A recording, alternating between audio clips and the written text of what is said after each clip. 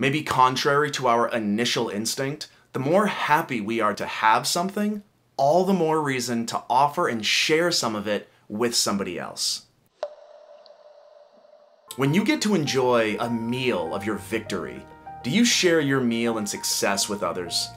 Welcome to Wild Impact, and it is time to awaken your wild side by becoming masters of teamwork, specifically regarding sharing. And in this episode, we'll be taking a close look at a pack of African wild dogs, also known as painted wolves or spotted wolves, who got separated during a hunt. Some members had a successful hunt, other members did not, and what they did to take care of each other to see what we can learn and gather from their failures and success and struggles so that we can experience more success in our own day to day lives. And as with all the content here at Wild Impact, we use nature, the animal kingdom, as our guide and as our reference to provide you with the tips, tools, and strategies to help you better navigate your day to day life in a more effective, fulfilling, and successful way. So, diving into it here, we see perhaps the most successful hunters in the world the African wild dog.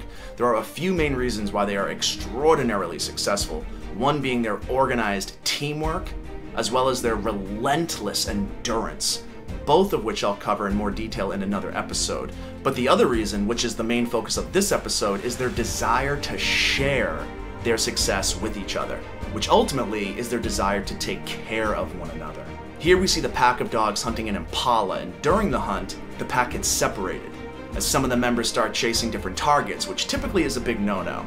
But after a long chase, and out of sheer desperation, the impala jumps into the water to escape the dogs. Impalas can barely swim, and the dogs know this, so they just sit around waiting for it because it's just a matter of time before it has to return. But while they're sitting there waiting for it, they hear other members of their dog pack calling out to them, letting them know that they've just made a kill and that they're being invited to join them. So the separated members follow their calls until they're all rejoined and they begin sharing and enjoying the meal together as a pack, as a family. Now, are the dogs doing this just to be nice or because it's the right thing to do? Maybe that's part of it, but it's more likely because each member of the pack deeply depends on and needs each other in order to survive. So it's in their best interest to take care of each other. And in taking care of each other, we are taking care of ourselves. And in taking care of ourselves, we are taking better care of each other, right? So we know this to be true. These dogs are always hunting prey that is much bigger than them and faster than them, so they not only need a lot of members in their pack, but they also need to make sure that everyone is well fed, healthy, and happy in order for all of them to stand a chance at being successful. And keeping in mind, it's inevitable that each member of the pack will at some point get injured and get old and will be unable to hunt and feed for themselves. Therefore, having to rely on their pack members to care for them in their time of need. All the more reason to be cooperative and generous.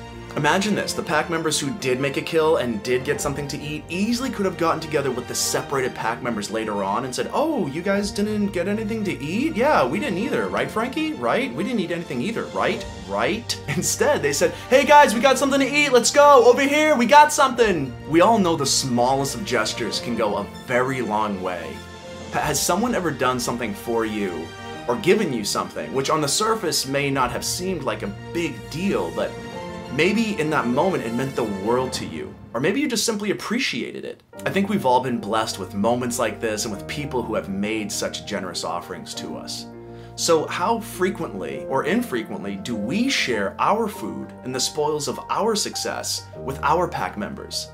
Perhaps contrary to initial instinct, the happier we are to have something, all the more reason to offer and to share it with a loved one. You have your favorite food? Share it. You have some good news? Share that. You have a new and exciting idea? Share it. Your joy, your happiness? Share it. Share it. You come across some unexpected money or stuff? Offer or donate it to someone in need. No one likes a hoarder, so share it with a loved one. Just like these wild dogs, call your loved ones. Say, hey guys, I just ordered a pizza, come on over, let's eat. Or, hey, I just got my tax returns back. Hey man, I bought you that book that you had mentioned last week. you know, these may not be the best examples, but I think you get the point. It can be anything. And I know that you also love seeing your loved ones happy and uplifted. So let's contribute to their success.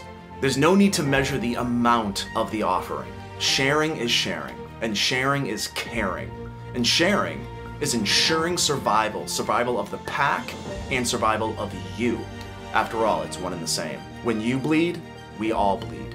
When you feed, we all feed, but only if we share.